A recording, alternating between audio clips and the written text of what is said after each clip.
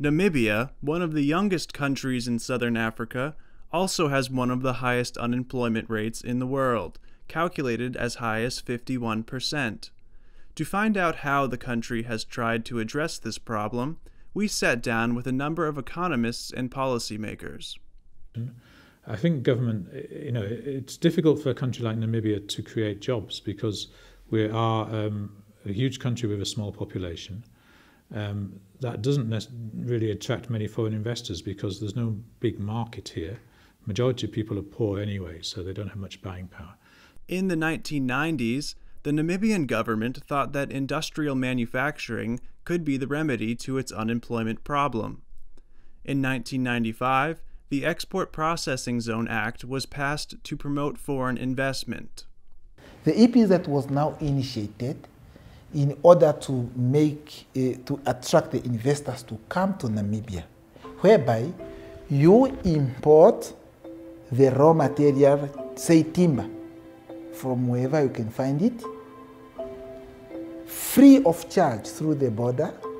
You bring it here, you convert that one, you process it to become a chair, for example, right? Finished product. Then we sell this to other countries. So the purpose of that, the politics was that just to attract these in foreign investors to come in. So you qualify to get an EPZ status if you are exporting at least 75% of your products to markets outside SACU. And SACU is Southern African Customs Union, comprising of five countries, uh, including Namibia, but also Botswana, South Africa, Lesotho, and Swaziland. It became evident rather quickly that the Export Processing Zone program did not turn out as hoped. It was not creating enough jobs. We found that the problem was not just with the implementation of it, but with the policy itself. We are hoping to attract big companies to locate here. We are about to succeed to attract big companies, South African connected companies. But South Africa became democratic too. So those who are trying to set up on the EP EPZ change. Why go to the second best if I can go to the best? So they went to South Africa. Therefore, I think it made the concept that we perceived very well not that very important. Because definitely there are countries, there are, there are companies who will use it. But as we thought of it to cash in on South Africa, that was taken away and South Africa became democratic. Some in the development community argued that the EPZ program failed to succeed in Namibia because it essentially was a cut and paste strategy from successful countries like Mauritius. Mauritius was the first. And often, if you're the first, you have an advantage. So they were the first in Africa, and they were actually early worldwide. So they set up their special economic zone. Uh, their, it's called um, Zone Franche, their uh, uh, economic processing zone or the free zone legislation in 1970, 71, they launched it. So, and they were able to take advantage of uh, insecurity and changing the situation in Asia uh, to bring in Asian investors. And this was particularly uh, good for them in the 1980s. So a lot of Hong Kong investors were concerned about the impending uh, reunification of Hong Kong and the departure of the British.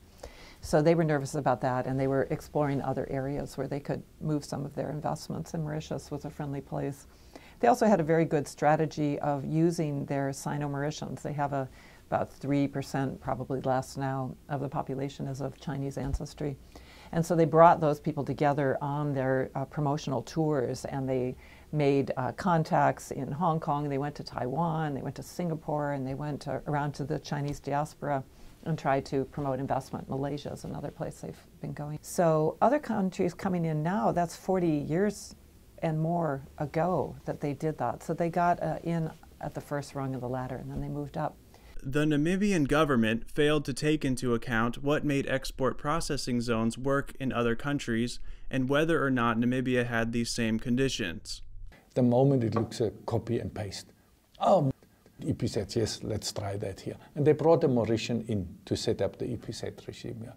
Ah, this the Chinese have done that, and they have done the following. And then it's a, a copy and paste job, and it's not tailored to, to the particular conditions, and it's not tailored to moving away from the dictates of the market. I would even go a step further. Our plans since independence were not only cut and paste plans, they were coming from different planets.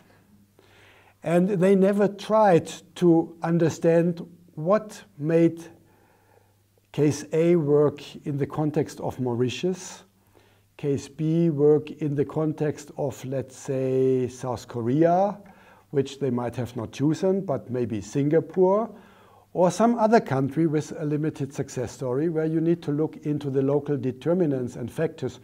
Why were they able to turn it into a success story? Are these factors existing in Namibia? And then the answer is they didn't even bother to look into that. So it's not only a cut and paste, it's a completely ahistorical cut and paste. It lacks any preliminary analysis of the local conditions and it's just imposed on it. So it's an imposition of a cut and paste of the worst kind.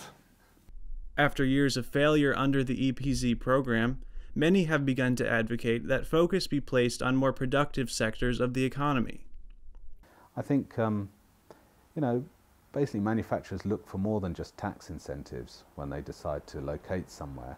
And I think it's a reflection of how uncompetitive we are as an economy that we haven't managed to attract manufacturers that want to locate here and export to world markets. I think maybe the world market thing was too ambitious because there you're vying with the Mauritiuses and the Macaus and the others. Maybe we should have set ourselves up much more as a doorstep of South Africa and how do we sell into South Africa because they're our natural, our natural um, sort of market, if you like. um, you know, selling from Namibia to Europe and stuff is, is tough.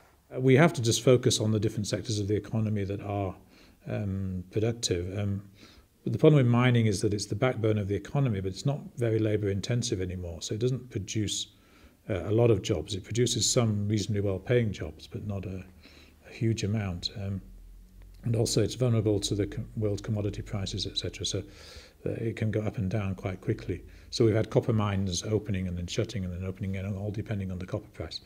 So that's why we would be, you know, be better to also just focus on the second two sort of contributors to GDP, which is tourism and agriculture. And government's never really sorted out its act on terms of generating jobs through agriculture. The Namibian Export Processing Zone program is currently under review by the government and third party development agencies. If the EPZ program is to stay a major feature of the Namibian economy, there must be drastic changes to its structure and implementation.